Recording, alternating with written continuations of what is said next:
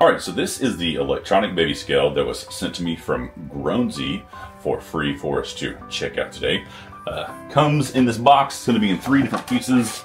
You got your main part here where you're gonna put your little baby or a pet, if you wanna weigh a pet or something like that, you can also put that on there.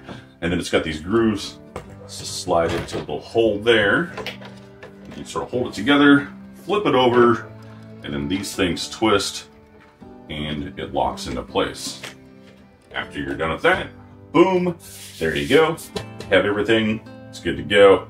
Has your little markings on here so that you can measure how long your baby is. It's got centimeters and inches on there. And then after you're done with that, you just push the button right here and it will turn on. A few different units of measurement. We have pounds, pounds and ounces, grams, kilograms, ounces, and then back to pounds. So I'll grab my little granddaughter here really quick. You want to get weighed?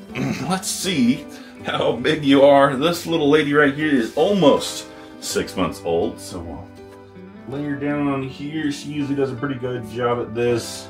She's looking at me like, what are you doing, Grandpa? And she is at about 18 pounds. You can hit this hold button and then it will hold it to where she's at. So she is moving around a little bit, it'll go ahead and hold that for you.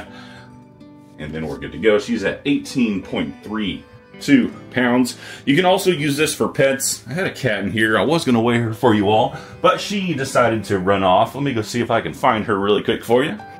All right, so I grabbed her. So we're going to go ahead and hit the tare button on here so that we can now weigh this little lady. And she's not too happy, but you put your pet on there, you can weigh them, and she jumped off real quick, but she was right at about nine pounds. I'll get you some close-ups of the buttons here. As you can see, we have the tare button.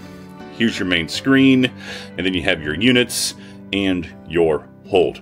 Overall, really great little uh, scale here uh, that also has the capability to measure your little one. So go ahead and check this one out.